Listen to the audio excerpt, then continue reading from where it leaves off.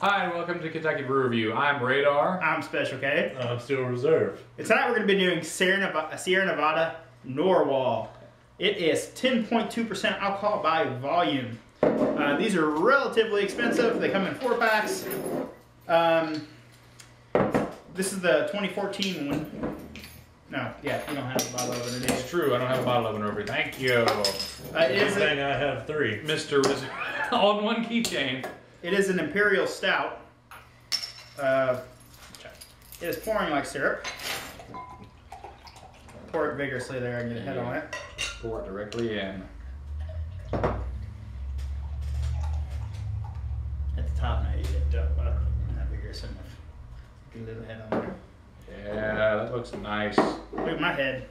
You want, it'll slowly rise. It's gonna surge. It's got a little surge on it. Kyle, it's gonna take a while to set up. Yeah, we're gonna leave it uh, for a second. Um, I've never had this before, but they are supposedly amazing. yeah, I hear good things about them. Uh, th- did I say they're 10.2% alcohol by volume? Because I they're don't think you did 10.2% yet. alcohol per There. volume. They Yes. are. Um, we talked about the head. while They look sitting it here. too. Um, This is very uh, it's like Thick. coffee colored. It's like uh, super super thick. khaki, dark khaki. Dark khaki head. Dark khaki. It's got some big bubbles there too on top. Um, can you see it through it? The answer is no. No. You cannot. It Not is even- very, not at very all. dark. It's a very dark, dark brown, like a very Hold it dark, up to the light, you can't even see through like a very darkly rustic coffee. Um, With a head on it, let's take a smell. of course. Bet you it smells like uh, like Very, very roasty. Um, yeah, Yeah. you do get a little coffee in there. Um, maybe a little caramel. No. Yeah, there's definitely caramel. Maybe some bread bread crusts in there. I'm getting mostly just caramel and coffee. Mostly caramel. I don't Radar doesn't like coffee, bread so we already know we're probably gonna like this more. All right, I think it's ready to drink. Let's do this.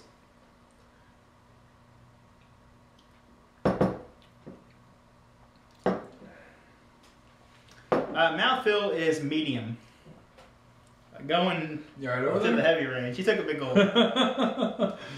Well, mixed, mixed with my mustache. ah. Did you try and swallow your mustache? Yep. Ah. it's got almost a creaminess to it towards the back end. I got it. Yeah, definitely got a creaminess to it. Um, it just is. It's a pretty thick taste all the way through, though. No, it sticks with you. Um, Yeah. It's got a decent bitterness there. Um, you get nice roasty flavors up front. You do get a little caramel, and like I said, it is a little creamy in there. Um, coffee, of course. Mm-hmm. Um, It's not not in the crazy in the coffee area. you can't tell it's ten But percent. there's a lot of yeah, you can't at all tell that this is ten percent. Um, there's a a lot of other there. flavors in there to uh, to play with the coffee though. It's not just coffee, which makes me happy. It's got some kind of like a like a some kind of tanginess. I can't really put my finger on there. Yeah, I was thinking it was hops, but now I think it might be like zest or something. It's got something there. It's it's decent. I mean, would I be able to drink more than one of these? Probably not. But I'd say I think no. it'd be nice to sit down and have one. Yeah, yeah.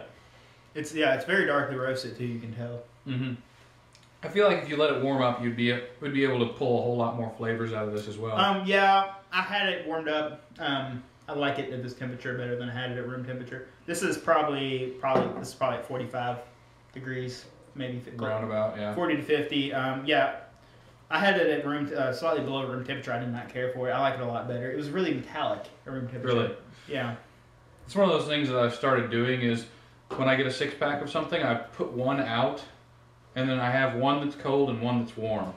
I Try to just the difference in flavor is insane. I think the bitterness is right on par. I think it's right where it needs to be. Oh, yeah. It's not Yeah. too bitter. It's not. Um, I feel like it'd give me indigestion though for some reason. I don't know. It's a I weird, don't it's feel- a weird I don't- thing to say, but I don't get that feeling. It's some some some things with me. It's got really nice lacing. Oh, You see yeah. the radar's glass here. So what do you think of it? Um, rating wise, how much was it? Uh, did you say it was like thirteen dollars? 13, 14 up, Yeah, up for, there. for a four pack. I paid for it at Liquor Barn, so it's probably a little more than. And you know, it uh, it's not bad by any stretch. But here's the deal. Um, Guinness is uh, eight dollars and some change for a four pack of uh, of cans, and And I do love me some Guinness. Guinness is some good stuff. So that's gonna give it a ding. But Uh, This is good. I'm gonna I'm gonna call this. It's like a seven and a half. This is really good. It is, but it's pricey. It's that's, very that's, that's, downfall. that's really the downfall of this beer. It's pricey, but I would buy it again. I probably will buy it again. I'd have to give this um, a seven and a half as well. It is really good. Like I said, the price point, you know, it's a little painful, but I mean, it's it's great. I mean, I'd get it again. Like I said, a four pack of. If I had four buddies coming over, yeah, I'd get a four pack of Oh, this. We might start out with this and then go something a little lighter, but I couldn't drink these all I night. mean, you could like kind of have this with like a dinner type. Um, I don't know what you would have it with. I mean, it's probably a lot of calories. We're probably high in calories. Yeah, yeah. This is like after like after dinner coffee. You could replace the coffee with this beer. Yeah, absolutely. Like you know, this beer and a couple cigars. You know, having a man's man's. Do I have to wear a poofy purple shirt with a smoking jacket over it? So, uh, No. rating. Um, I'm gonna give this a 7.5 as well. It's good. It is pricey. Yeah.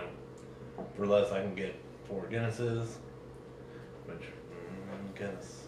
Guinness is some good stuff. Guinness isn't as roasty and doesn't have as many flavors. That's that's stuff. true. It's not as complicated as this. But if it, but still, if I was picking between the two, and typically when I go out to spend beer, I don't spend over ten bucks. Yeah. yeah, So- that's pretty And also, thing. you know, the four cans Guinness are, you know, Sixteen, 16 ounces. ounces. this is. But to be fair, this is this is ten point two percent alcohol. That is true too. But um, you know, I'd recommend trying it. You know, get four. You know, get three friends. You know, and just sit back, drink this, and enjoy. It. All right. Uh, well, that's our episode. If there's something you'd like to see on our channel, you can leave a comment down below. I'm Special K. I'm Steel Reserve. And I'm Radar. Thanks for watching.